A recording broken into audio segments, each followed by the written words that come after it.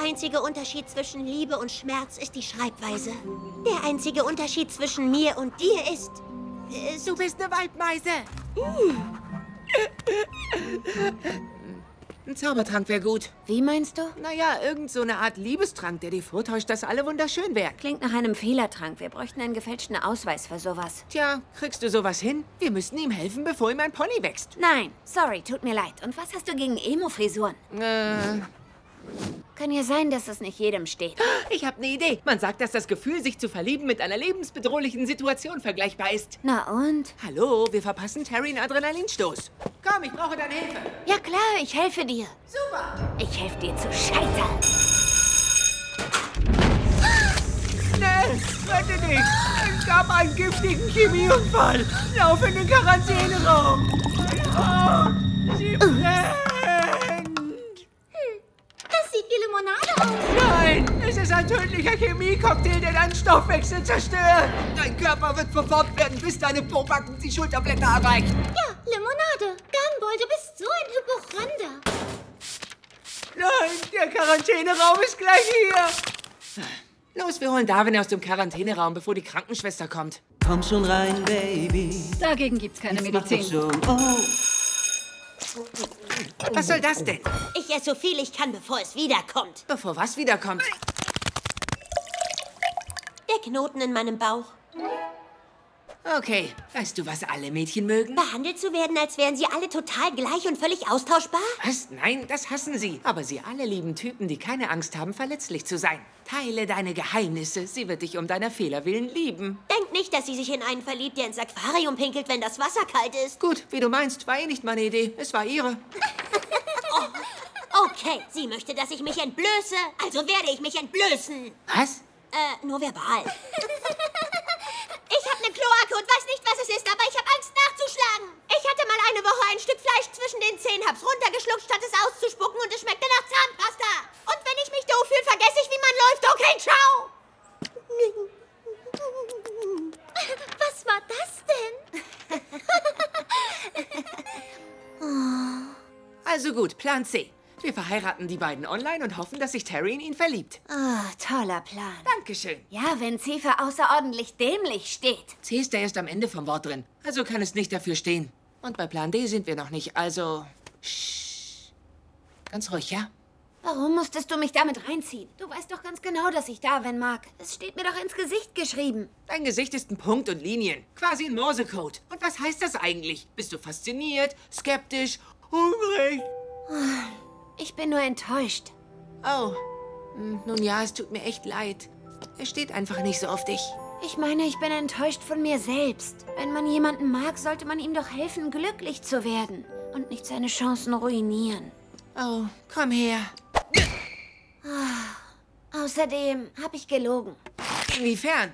Ich weiß, wie man einen Liebestrank macht. Ein Teil von ihm, ein Teil von ihr. Und eine allerletzte Zutat. Eine Träne von jemandem, der ihn liebt.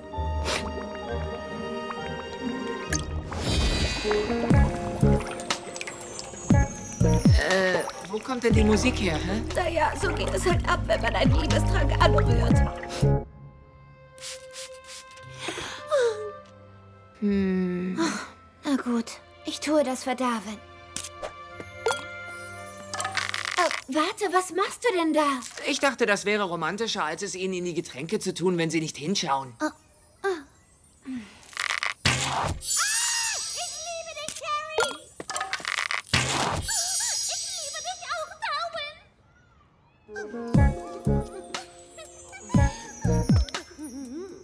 Ich kann sie immer noch sehen. Oh, hey Jungs! Hey, Jock, hilf uns! Wir sind so schrumpelig, weil wir zu lange im Pool waren. Hey, Hoxter. Oh, hey Max! Wir haben die falsche Entscheidung zwischen Spaß und wie eine Haut. Fledermaus, Baseballcap, so sieht's aus. Mein Herz, das schlägt im Maximum. Äh, hallo?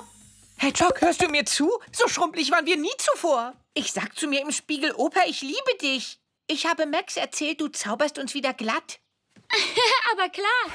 Okay, ich muss nur deine Hand halten und den Spruch sagen. Konzentration. Freundorium Entschrumpelum. Danke, wieder 100 Jahre jünger. Oh, jetzt ich, komm schon. Nimm meine Hand. Nimm meine Hand, Hedgehog. Oh, was passiert hier?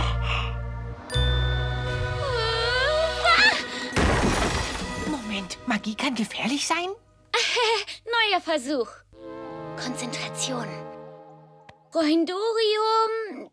Der bitte. Der Be Schrumpeldumpdiwum. So sieht's aus. Hat's funktioniert? Nein, wieso nicht? Es ging doch eben. Wieso nicht bei Max? Ist das nicht ein super duper leichter Zauberspruch? Wieso kannst du den Zauberspruch nicht bei Max anwenden? Wieso ist dein Gesicht schwitzig? Wieso ist dein Puls so hoch? Ah, bist du krank? Äh, ja genau, ich fühle mich nicht so gut. Ich werde mich eine Weile ausruhen. Bis dann. Wollen wir schwimmen gehen? Klar. Okay, Hedgehog, jetzt nicht von Jungs ablenken lassen. Du hast heute deine erste Prüfung. Visualisier das große Ganze. Mein 95-Jahre-Plan wird mich von Max ablenken. 12 Jahre alt, du bekommst deinen Zauberstab. 15 Jahre alt, du wirst eine Hexe. 25 Jahre alt, du kombinierst deinen Wissenschaftsdoktor mit deinem Hexenwissen und erfindest den ersten Karottenpudel-Hybriden der Welt. 38 Jahre alt, du bekommst den Nobelpreis und setzt dich zur Ruhe in deiner toskanischen Villa. Visualisiere den Erfolg und verwirkliche deine Zukunft. Versuch die Entschrumpelung jetzt erneut. Konzentrier dich auf die Pflaume und denk nicht an Max. Freundorium entsch... Wie eine Fledermaus, Baseballcap, so sieht's aus. Mein Herz, das schlägt im Maximum. Ich bestehe die Prüfung niemals, wenn mein Kopf voller Max-Brei ist. Hey, Hedgehog, wollen wir ein paar Körbe werfen? Ja, genau. Endorphine. Ich sollte Sport treiben. Verknalltheit in Max, ich trainiere dich gleich weg. Oh ja, ich schaff's. In den Korb damit. Hakenwurf. Und noch ein Korb. Nein, mein Gesicht. Puh, ich bin die Gedanken an Max los. Danke, Endorphine. Ohren wie eine Fledermaus, Baseballcap, so sieht's aus. Mein Herz, das schlägt im Maximum. Ich mag es gemäßigt, handeln die zu schnell. Doch wenn's um Liebe geht, dann gebe ich mein Max, Max, Maximum. Visualisieren hat nicht geholfen, trainieren hat nicht geholfen. Warte, Arbeit. Ich vergrabe meine Gefühle in Arbeit. Hedgehog, Hey, Barb. was kann ich für dich tun? Hast du Erfindungen, bei denen ich helfen kann? Ich arbeite gerade zufällig an etwas. Ich zeig's dir da. Kennst du das, wenn dich der Kellner fragt, wie du dein Ei willst und du weißt nicht, was du sagen sollst, weil du jede Art von Ei isst? Klar. Tja, sieh her, die Option jeder Art von Ei zu bestellen. Jetzt wird schwierig. Achtung, wie passt alles auf einen Teller? Was, wenn wir so in etwa, ja, und, und dann? Ohren wie eine Fledermaus, Baseballcap, so sieht's aus. Mein Herz, das schlägt im Maximum. Max, du bist so süß. Max, du bist so süß. Hedgehog. Mm, ah! Du hast Hilfe nötig, Hedgehog. Klassischer Fall von unerfüllter Liebe. Ja, es ist fürchterlich, Barb. Wie soll ich meinen Zauberstab kriegen, wenn ich zu verknallt bin, um mich zu konzentrieren? Was kann ich nur tun, um mich abzulenken? Also, es gibt ein Gegenmittel für Verknalltheit. Es steht hier drin, falls ich von einem hübschen Geist gejagt werde. Ich nenne es die Schwarmgestehung. Das habe ich natürlich erfunden. Verstehe ich nicht. er soll raus aus deinen Gedanken, oder nicht? Oh ja. Tja, wenn du deinem Schwarm die Wahrheit gestehst, Ich mag dich. überträgt sich das Schwärmen in deinem Kopf von dir auf ihn. Und er lehnt es entweder ab und die Verknalltheit verschwindet, oder er erwidert es. Maximal verknallt. Und die Verknalltheit wird in ihre stabile Form verwandelt, das Paardasein. Dein Schwarm wird deine Gedanken nicht mehr in dieser Form kontrollieren.